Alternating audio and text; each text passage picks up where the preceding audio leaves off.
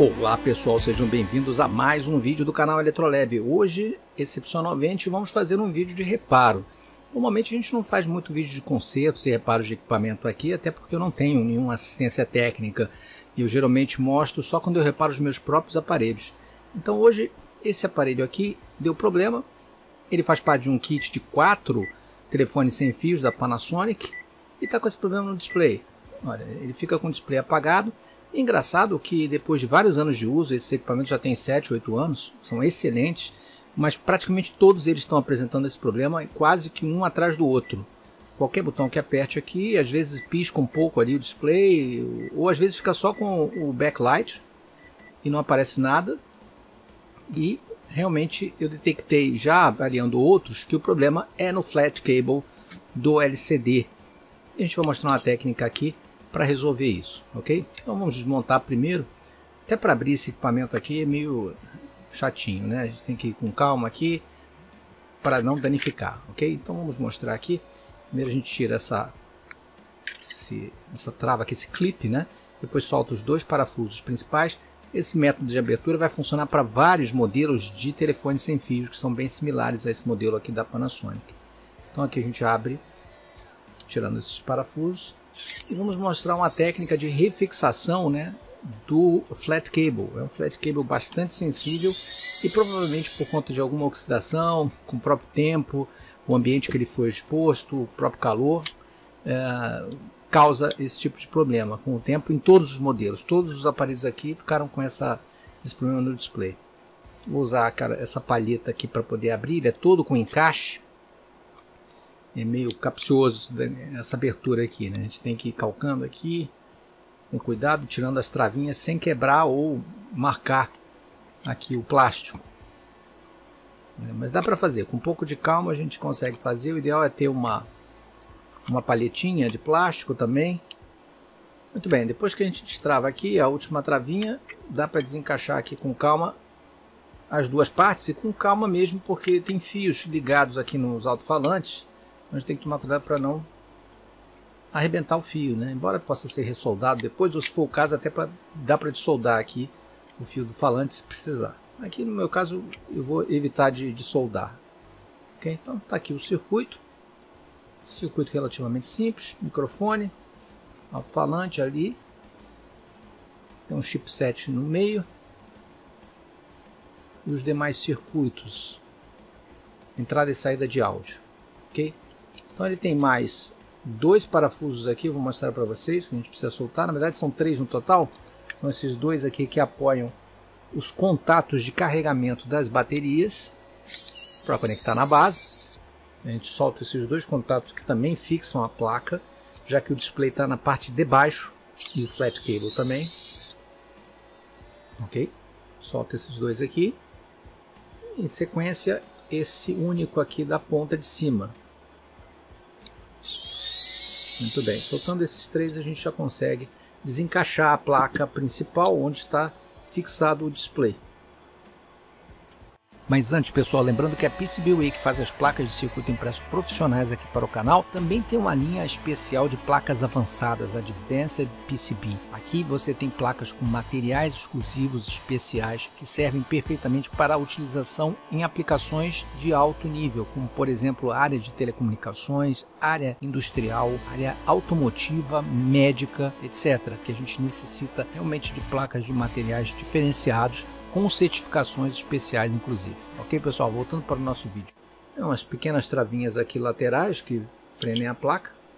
É só soltar com, com cuidado aqui. E a placa vai desencaixar da parte plástica de baixo onde fica o teclado. E está aqui o display e os contatos da matriz de teclado. O, o, display também ele é fixado por duas travinhas. Se a gente soltar essas travinhas laterais, aqui ó, ele vai virar, ele vai levantar e a gente vai ver o flat, que é onde a gente precisa fazer o reparo. Aqui são os, os contatos das teclas, né? Vamos lá, soltamos aqui, soltamos aqui o outro lado e o display fica solto, preso apenas pelo flat. O flat é esse daqui. Esse cara aqui, ele oxida e dá mau contato. Ele é que ocasiona o problema de falha no display em grande parte dos, das situações. Foi o que aconteceu aqui nos meus quatro aparelhos, né? já que eu comprei originalmente um kit que vem com quatro aparelhos e uma base.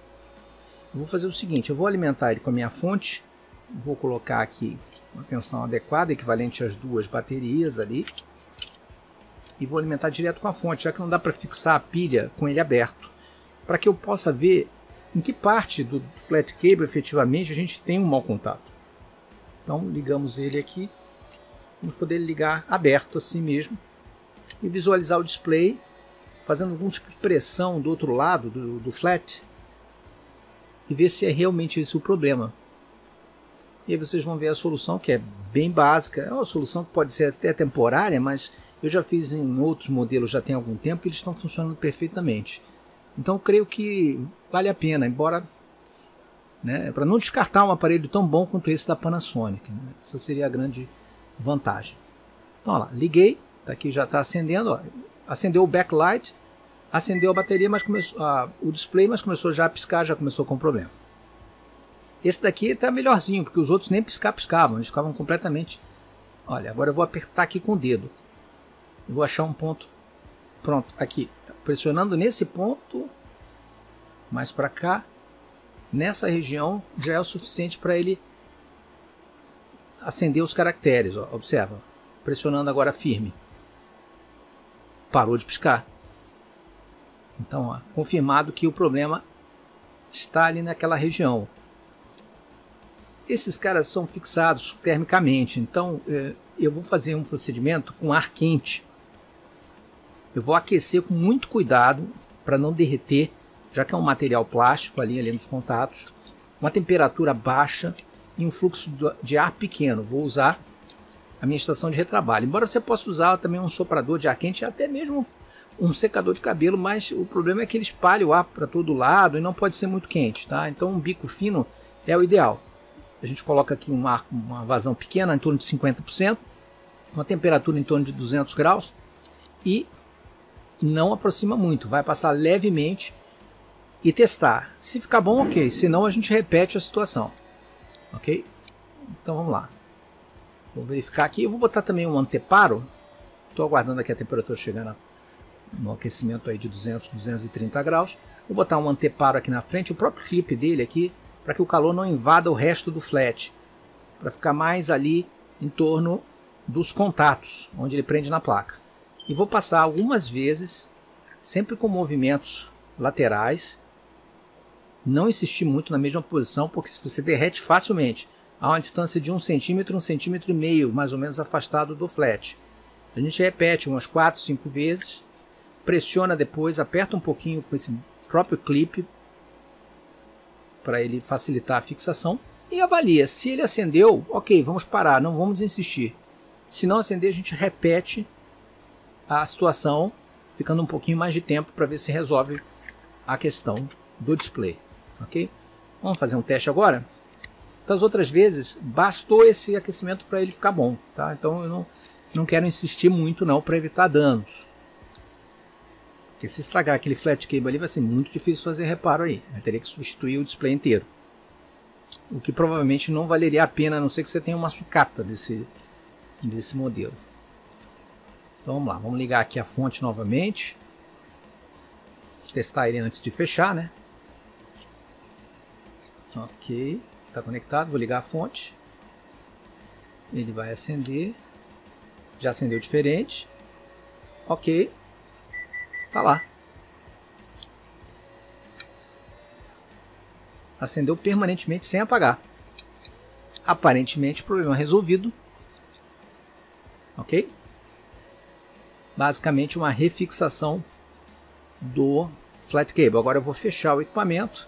Vamos testar com ele fechado e avaliar aí por alguns dias. Tá? Os outros estão até agora. O, mais, o primeiro que eu fiz já tem mais de um mês. Como eu fiz em vários, eu resolvi gravar esse vídeo porque pode ser uma dica útil para muita gente. E isso não se aplica somente a este caso específico de reparo no telefone sem fio da Panasonic. Pode ser qualquer outro tipo de telefone sem fio, porque pode acontecer esse problema, ou até mesmo qualquer outro tipo de display que apresente um problema similar. A gente pode aplicar a mesma técnica. Então vale aqui a técnica é para ser aplicada em reparo de conexão com flat cable plástico, daquele, daquele mesmo tipo ali, para display de qualquer outro tipo de equipamento.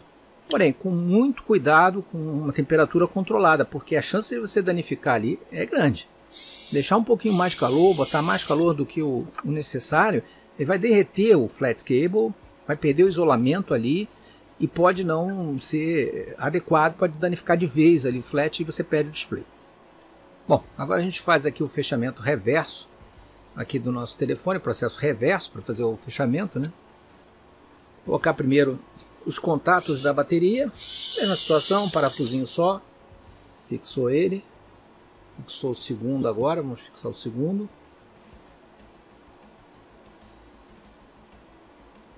Não é muito complexo. Depois para fechar, né, é basicamente, além desses três parafusos, é o encaixe. Tá? E depois a tampa é encaixada para depois fixar com aqueles outros dois parafusos finais, tá?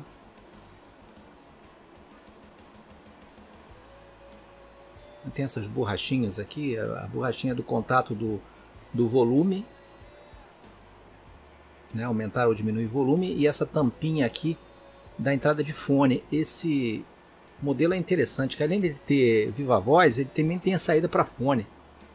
Você pode fazer, fazer uma reunião, uma conferência com um telefone fixo. Usava-se o fone ali conectado por fio. Uma vez encaixado isso aqui, não esquecer lá na parte de cima ele tem uma luzinha também indicativo de funcionamento e aí tem um plástico translúcido aqui que a gente encaixa para fazer o fechamento.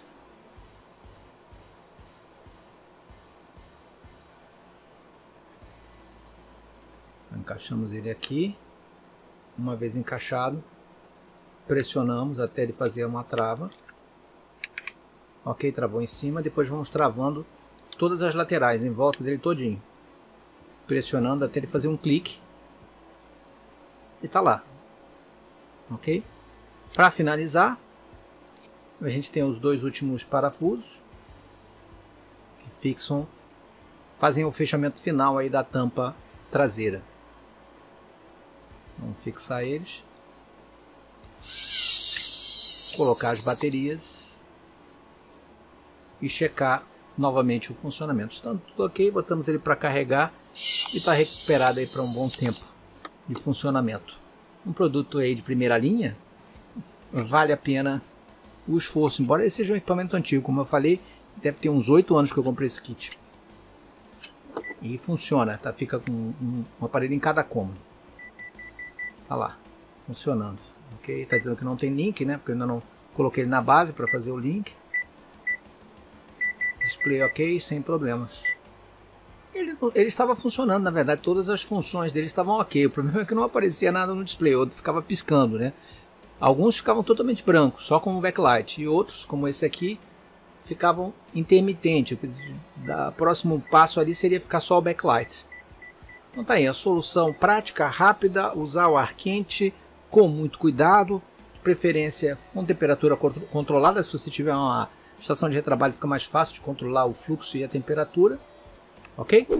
E pronto para funcionar aí tranquilamente, tá aí o modelo, esse daqui é o Panasonic KX TGA 470, porque pessoal, é isso daí. Se vocês gostaram aí desse vídeo de reparo, clica no like, não deixem de se inscrever no canal e marcar o sininho de notificações.